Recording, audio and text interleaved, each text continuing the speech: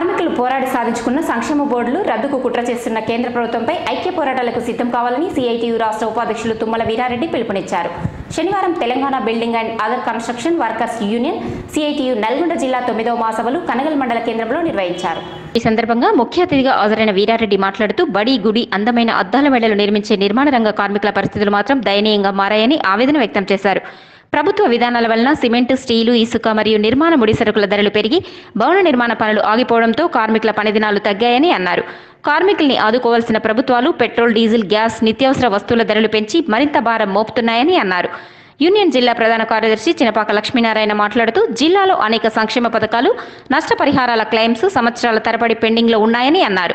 మహాసభలకి ప్రత్యక్ష వర్గంగా అద్దంకి నరసింహ కంచి కేశవులు బొల్లెద్దు సైదులు వ్యవహరించారు. అనంతరం నూతన జిల్లా కమిటీని మందితో ఏకగ్రీవంగా ఎన్నుకోవడం జరిగింది. జిల్లా అధ్యక్షులు కంచి కేశవులు ఉపాధ్యక్షులు అద్దంకి నరసింహ బైరం దయానంద్ బిఎం నాయుడు బొల్లెద్దు సైదులు ప్రధాన కార్యదర్శి చినపాక లక్ష్మీనారాయణ సహాయ కార్యదర్శి సలివోజు సైదాచారి వి శంకర్ వరికుప్పల ముత్యాలు యాదయ్య వేముల కాశమ్మ కోశాధికారి Kodanda Charan Raj social media convener Bheemanapalli Shankar ఈ కార్యక్రమంలో Telangana building and other construction workers union CITU నాయకులు కానుగు లింగస్వామి వంటపాక వెంకటేశ్వర్లు రొండి శ్రీనివాస్ సలివోజు సైదాచారి ఏర్పుల జ్యోతి దేవరపల్లి వెంకటరెడ్డి సాగర్ల మల్లయ్య కత్తుల జగన్ కట్టా ధనమ్మ మల్లెపల్లి వెంకటయ్య దాసరి నరసింహ బైరు కాశింగౌడ్ ఉంగరాల సైదులు యాదయ్య ఓర్సు వెంకటేశ్వర్లు గురువయ్య తదితరులు పాల్గొన్నారు.